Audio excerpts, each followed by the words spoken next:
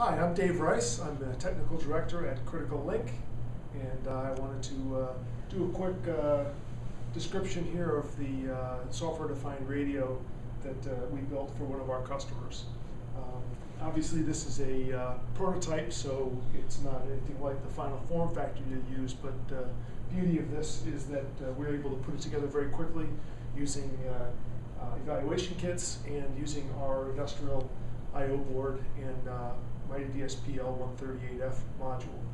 So basically what we have here is the, uh, the uh, MityDSP L138F module with the uh, DSP and the FPGA on board. This is actually the uh, debug header that lets us do the JTAG uh, debugging.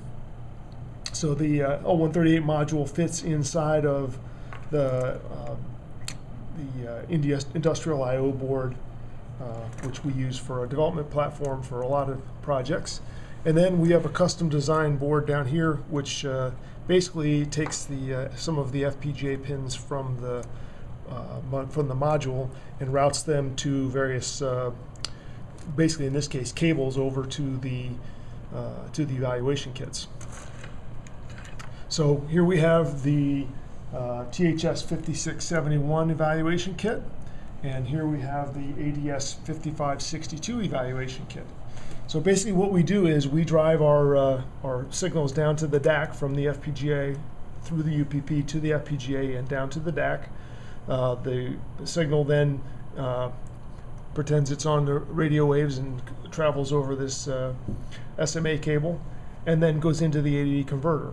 Now we actually modified the front end of the ADD converter evaluation kit because we needed to do lower frequencies. This kit uh, rolls off below one megahertz, so you don't get much signal strength through there.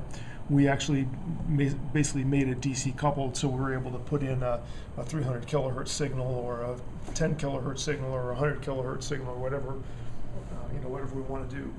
Um, so basically, then the uh, ADD converter uses the uh, clock, which comes in on this SMA cable, digitizes the signal, feeds it into the FPGA. The FPGA does the initial baseband processing to uh, to uh, demodulate the signal into a into a baseband signal, and then the DSP gets the baseband signal at a lower data rate and does the uh, final processing and the decode processing to to actually get the output signal. So that's basically the system. Thank you very much.